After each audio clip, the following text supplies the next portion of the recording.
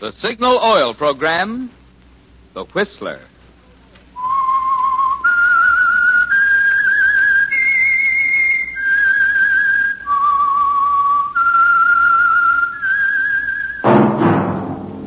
That whistle is your signal for the Signal Oil program, The Whistler.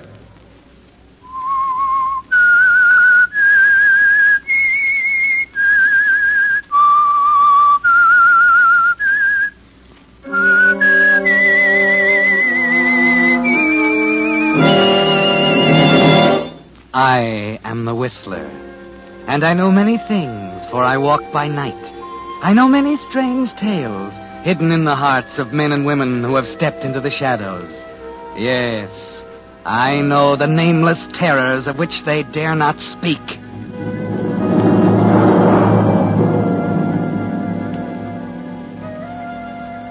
Yes, friends, it's time for The Whistler. Rated by independent research, the most popular West Coast program in radio history. And remember, let every traffic signal remind you with new signal gasoline, you do go farther than ever. Look for the familiar big yellow and black circle sign that identifies those popular signal service stations in seven western states from Canada to Mexico. And now the Whistler's strange story. Terror stricken.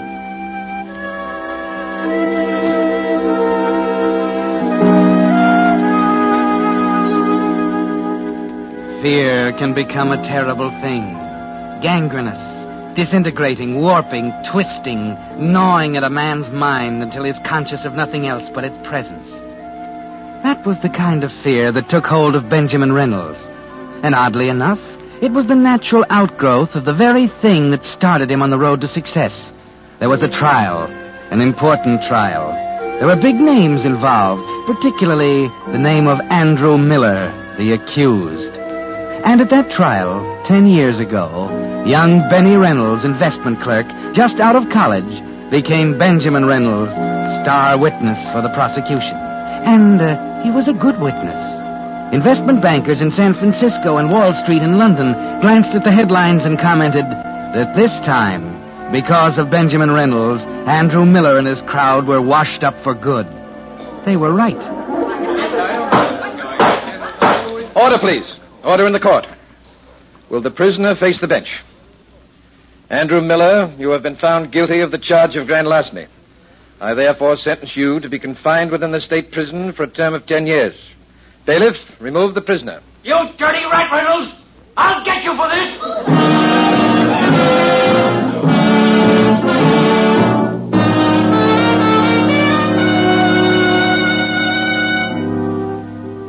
Yes, Benjamin, that was the big break.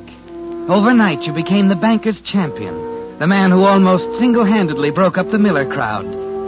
Today, just ten years later, you're head of the Rental Investment Company, a pillar of the community. It's a nice morning as you sit at the desk in your private office, looking at reports. Yes, Mr. Reynolds. Uh, Joan, will you send Mr. Barton in, please? Yes, sir. 46,000 Allen account. Well, that can't be right. Gross commissions chargeable. Oh, wait a minute now. I know that's wrong.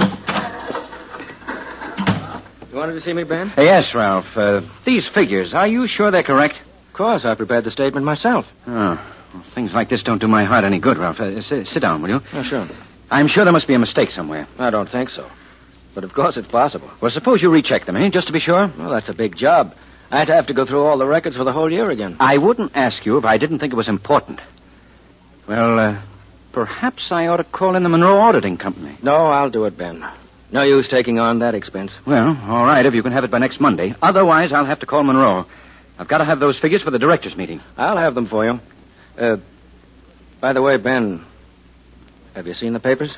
Yes, I glanced through them at breakfast. Did you by any chance see this?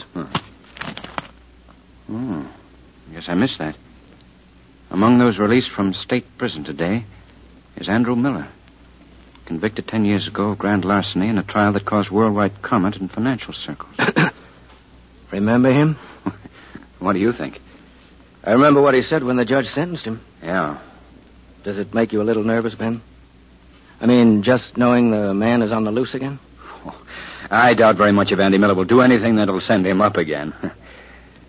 Still, you never know, do you?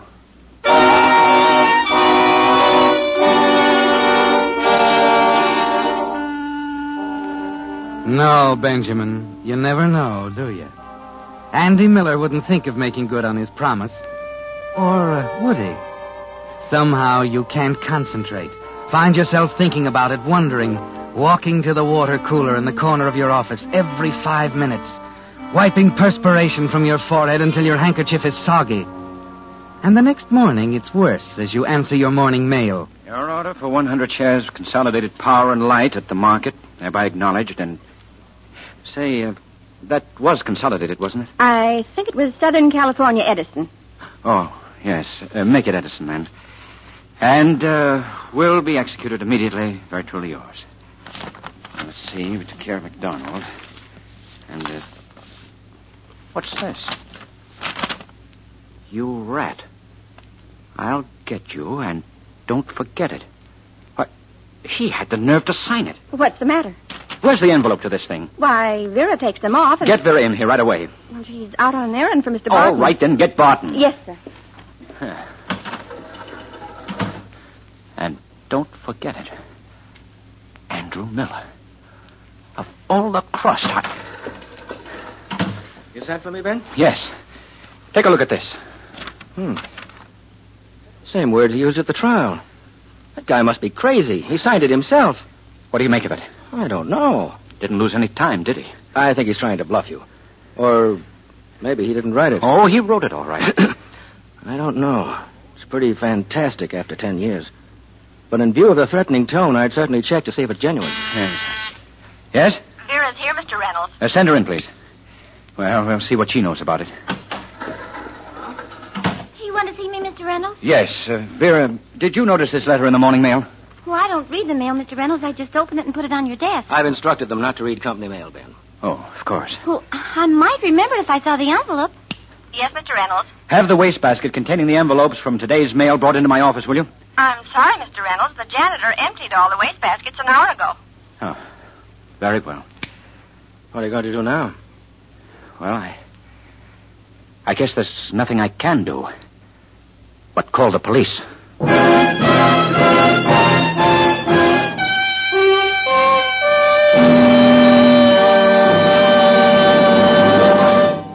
With the prologue of Terror Stricken, the Signal Oil Company brings you another strange story by The Whistler.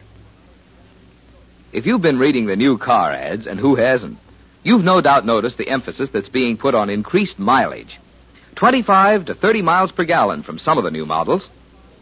Now, why do you suppose this is? Is it because folks today are interested in making dollars go farther? Well, partly. But even more so, they're interested in the increased engineering efficiency which makes that greater mileage possible. Yes, and right there you have the reason why Signal Oil Company is so proud of the fact that you now go farther than ever with new Signal gasoline. You see, Signal's improved mileage is the result of increased power, amazing new power. The same power that gives new Signal gasoline quicker starting, faster pickup, and quieter, higher anti-knock. That's why we say, look to your speedometer for the final measure of gasoline quality. You'll find that the super-powered new gasoline that gives you peak performance is also the gasoline that now helps you go farther than ever. New Signal gasoline. And now, back to the Whistler.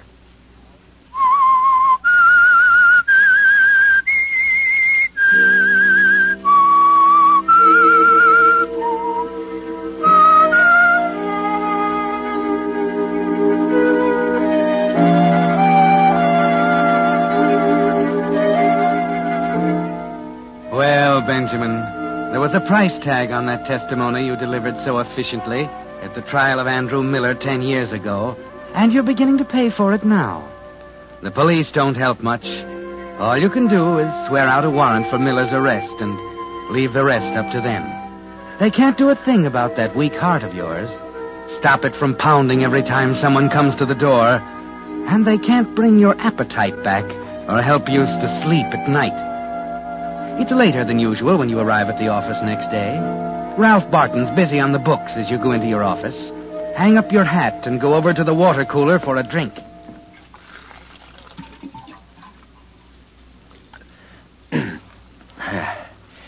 I guess that. help! Help! Yes, Mr. Reynolds. Help! Help!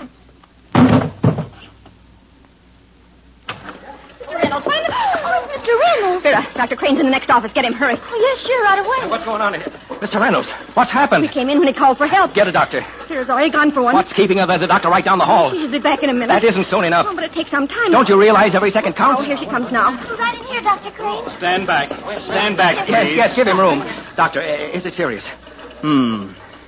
Can't tell yet. Looks very much like some form of poisoning.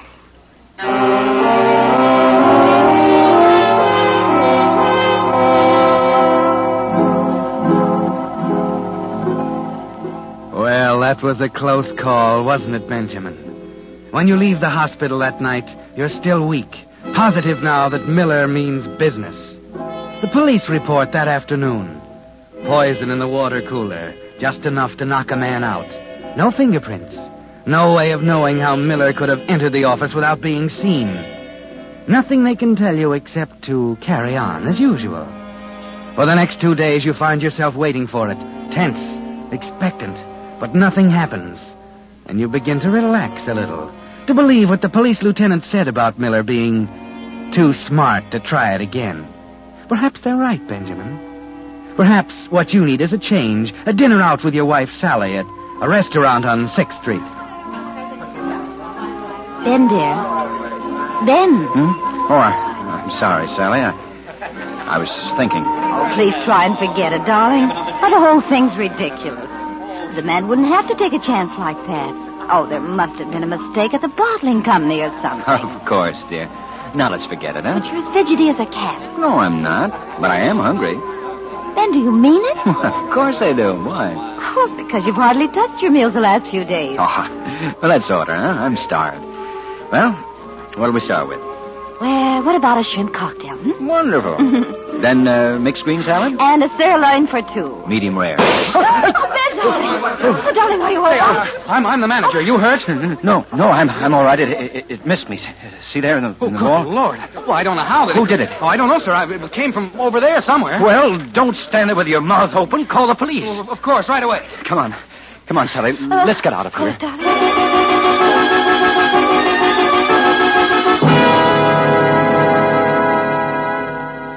Well, whoever fired that shot meant business, didn't he, Benjamin?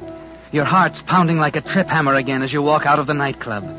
The hole in the wall was six inches from your head, and that's awfully close. Your heart almost stopped, didn't it? You're terror stricken. You jump at every sound. And then you wonder why Miller doesn't come right out and kill you. But you remember he's had ten long years to plan his revenge.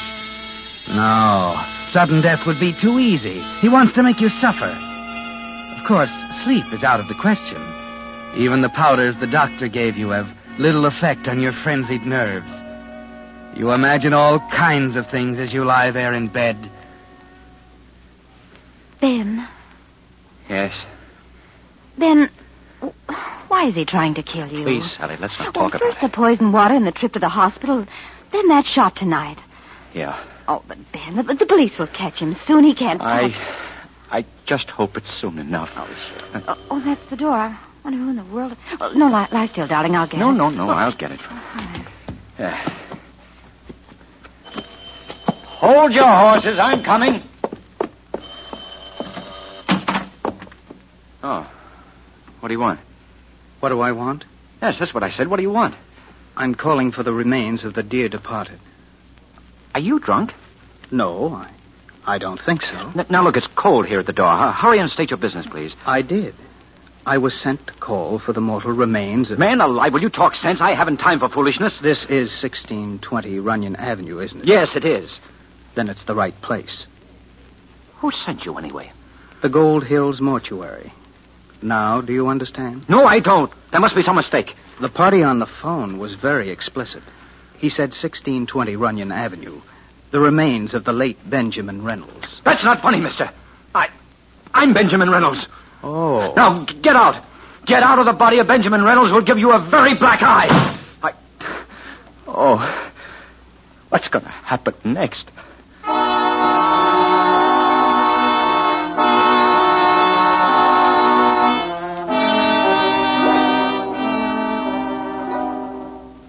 How much more can you stand, Benjamin?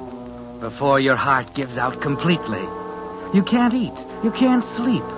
You almost jump out of your skin at the slightest sound. Miller is getting his revenge. He must be enjoying it immensely. Sally makes you rest all day Sunday, but you're still befuddled. You can't even talk straight anymore. You stutter. Monday morning, you decide to walk to the office. You want to try to think. Yes, that's it. Walk and try to think.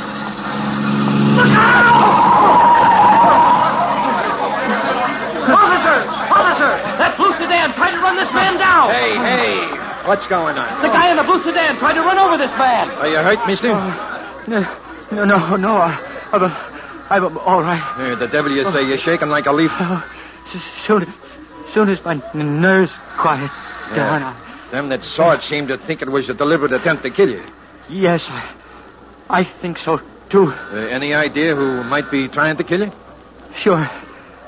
Andy Miller, Yeah, okay. Now I got to make a report of this. Uh, what's your name? Ben, Benjamin Reynolds. Benjamin Reynolds. Huh? You better see a doctor, Mr. Reynolds. You're, you're in bad shape. I, I'll be all right. Yeah, I better send you home in a cab. You're in no condition to walk.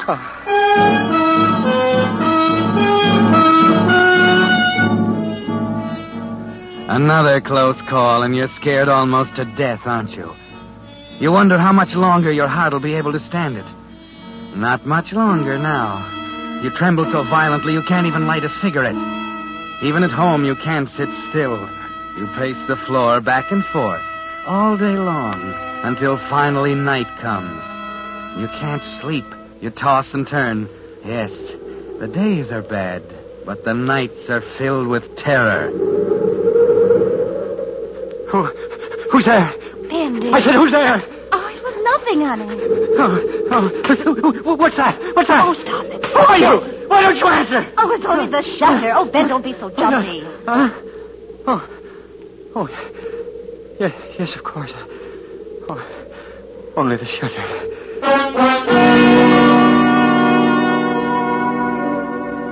It was only the shutter, wasn't it, Ben? But all the noises in the night have a sinister meaning, haven't they? After what seems like hours, exhaustion finally takes over, and you've just fallen asleep when.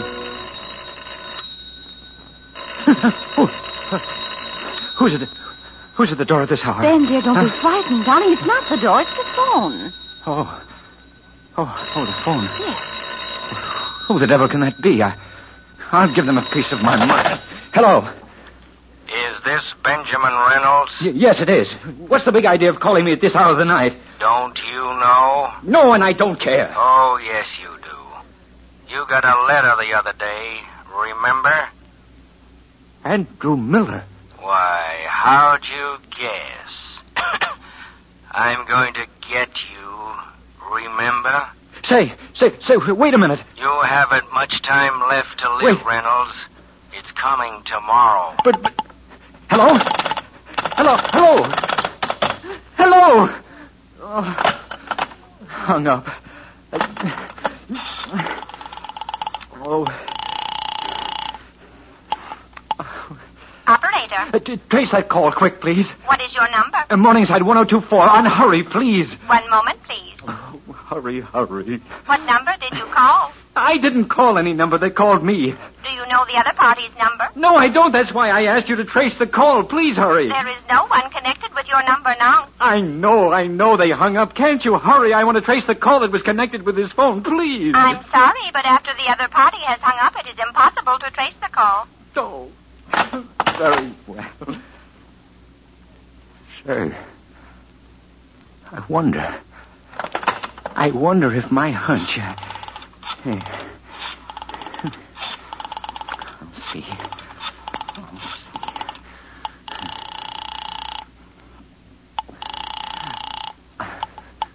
Hello?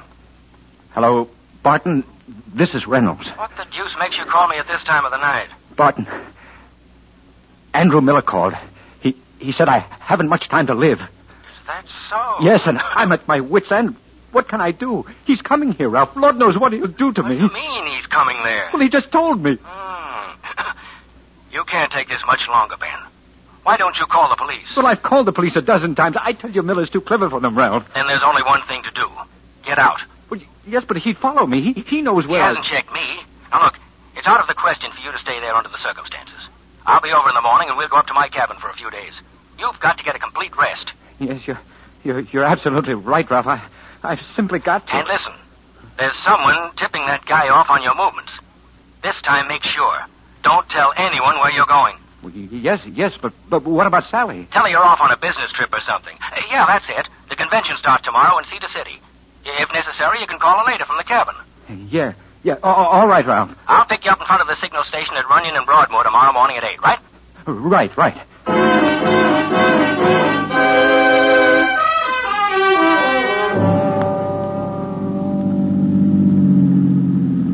How much farther, Ralph? About 14 miles. Hey, the old heart's banging away again. Doctor said 6,000 feet was my limit, you know. Well, we'll stay pretty well under that, boy. Oh, good. Boy, look at that view. You can see all the way back to. Hmm. What's the matter? So that's strange. There's that car again. You don't suppose he's following us, do you? Oh, probably one of the natives. I don't know. Wait a minute. You you don't think Miller... You're sure you didn't tell anyone where you were going? Well, positive. I, I will have to call Sally later, though. Yeah, sure. Hey, here's the spot where I always stop. You can get a good view clear back to the valley. How about it? Oh, great. Up this way. Yes, kind of steep. I better take it easy. Now, there's a level spot up here at the top. Well, you, you go ahead, Ralph. I gotta watch myself in this altitude. Ah, hmm, Get that air. You know, this is what I needed. Mountain air, sunshine, quiet. Hey, where are you? Up here. Come on. This is a real inspiration, Ralph. How'd you think of it? You mean this? Whew. I, I mean getting away from everything like this. One sniff of that air, and a fella forgets he ever had any worries. Hey, look over here. Hey, now, hey, now, take it easy. kind of close to that edge, you know. Look, Ben. 1,500 feet straight down. Yeah, I'd just as soon stay back here if you don't mind. What's the matter, Ben? Afraid? No, just sensible, that's all. You know, funny thing about me in high places, it seems You to... ought to be afraid, Ben. That's where you're going. 1,500 feet straight down. what? Well, that's good. Fifty. You're. You're serious, aren't you? I'd hate to have you call in the auditors, Ben. I was afraid that was it. There was something wrong with those figures. Yes, there was. But I learned something from Andy Miller. You're not going to be around to testify. You're going to have a dizzy spell. And they're going to find you 1,500 feet down there on those rocks.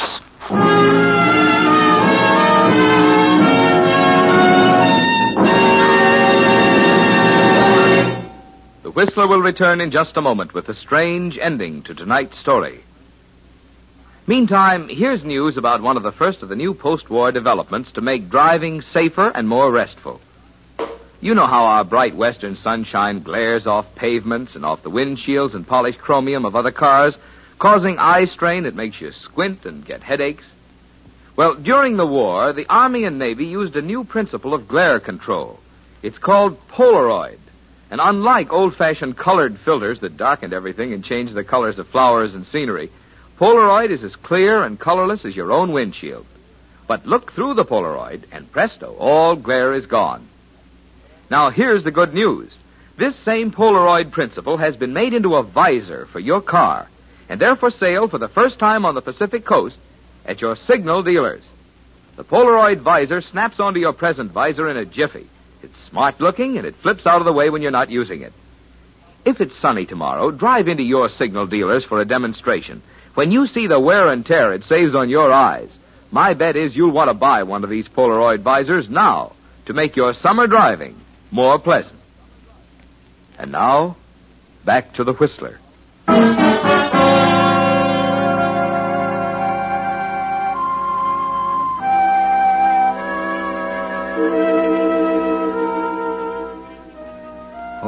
Benjamin, You seem to be in a tight spot. Just the two of you there, alone at the top of the cliff. Barton, staring at you, white-faced and tense, his fists clenched at his sides. And oddly, you find yourself struggling to keep the smile inside you from showing on your face. It's probably only a few seconds, but it seems like an hour that the two of you stand there silent. Then. Listen, Ralph. You hear that? The car? Yes. They won't stop. Sure he will. That's what they came for. What do you mean? There's a detective and two patrolmen in the car, Ralph. They followed us all the way from town. You're lying. You'd better restrain yourself for a minute and see. Of course, you could pull it off now if you wanted to, Ralph.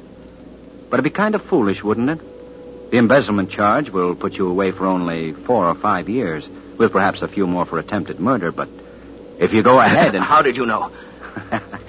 you did it again. What? that. It's a habit of yours, Ralph. Every time you're about to say something important, you clear your throat. like that. That's why it hit me between the eyes last night when you called me and said, I'm gonna get you. Remember? Come on, Ralph. Let's walk down to the road. We'll save the policeman a few steps.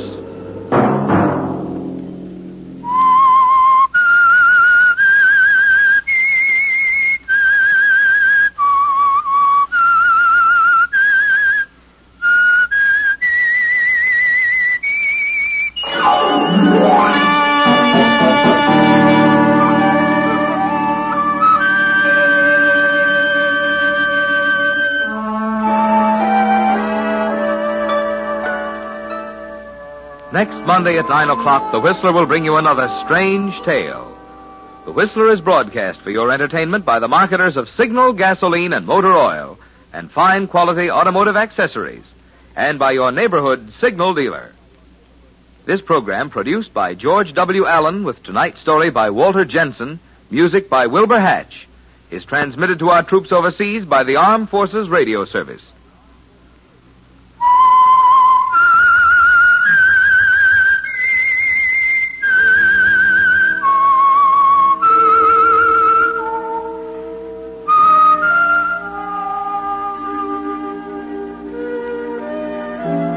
Whistle is your signal for the Signal Oil program, The Whistler.